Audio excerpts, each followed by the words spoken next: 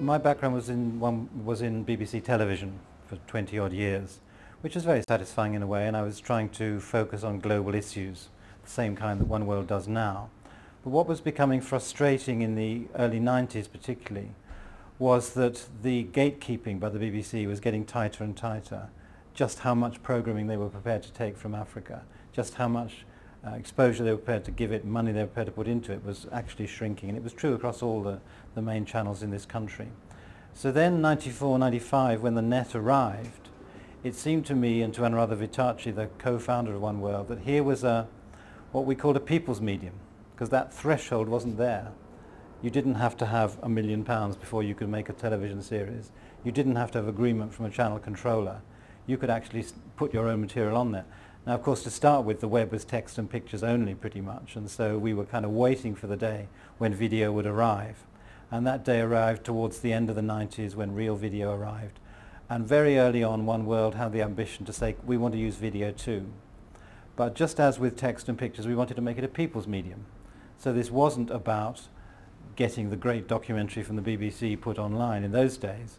It was saying, here's an independent filmmaker, particularly an independent filmmaker from a southern country, whose voice needs to be heard, who's got a perspective that's different, who isn't going to wait until they've got £100,000 and a commission before they can actually get out there.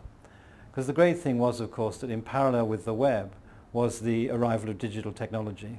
So with a small camera for a couple of thousand pounds, you could actually do really a full documentary and you could mix it, you could edit it on your laptop. So those two revolutions coming together in the creation of television and the distribution of television was a fantastic opportunity for One World and so we started One World TV on that basis and it's been growing ever since.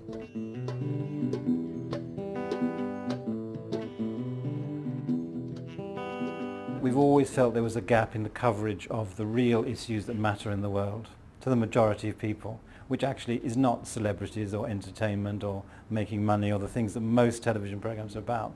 Things that really matter as the dreadful poverty in which people live and the opportunities to change that, the threat of climate change and what that's going to do to the future of our planet, and across a whole range of environmental issues, what's happening to the human rights of, of people in more and more countries as they're oppressed. Those are the stories that we felt weren't being told and needed to be told.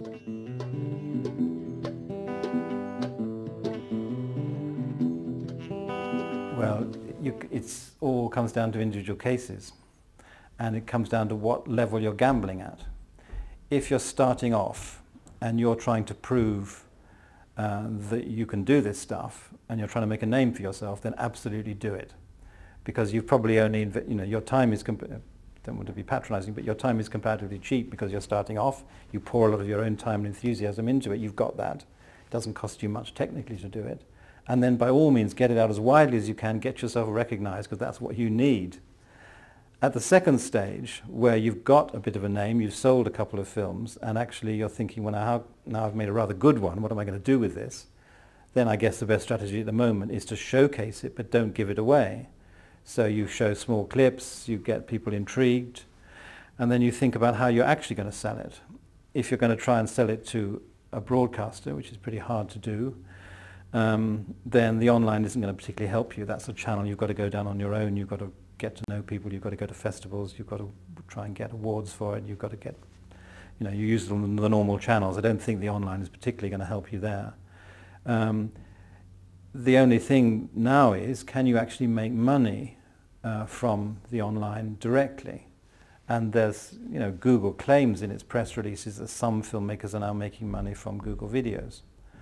Uh, well, I put some of my videos on uh, both Google and YouTube and uh, I don't think I would have made any money. Um, I mean, I think it's up to about six, seven thousand viewings they've had, and at that level, you don't really make any money. Um, so, and again, they are so entertainment orientated, and people are watching them in such curious ways. What I mean by that is they're not actually, for the most part, I think, sitting at home and thinking now, what's a really worthwhile way to spend the evening. Shall I go to the cinema? Shall I go to the opera? Shall I read a book? Shall I watch a really great documentary on Google Video? That's not, it's not in that frame yet. I mean, it will be in the future when it's all coming through your set-top box and it's on a good screen and all the rest of it.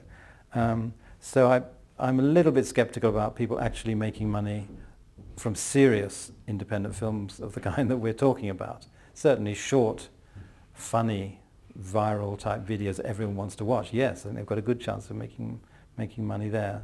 So, but if you're a serious documentary maker, I say, I would say for the moment, the online world is best as a showcase. Uh, don't give the whole thing away. So in other words, don't put on a high resolution complete version.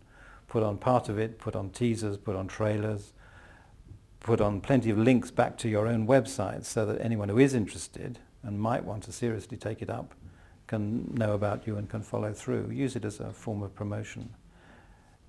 That's if you want to sell it. If you really care about the issue, and of course many filmmakers care more about the issue than they do about making money, then that's completely different. Um, and I know many filmmakers who will say, in effect, I gave the film away, um, but it's been seen by, you know, 10,000 people around the place or 100,000 people, and in terms of getting the issue out, that's what I care about. So then, in that case, absolutely use the medium.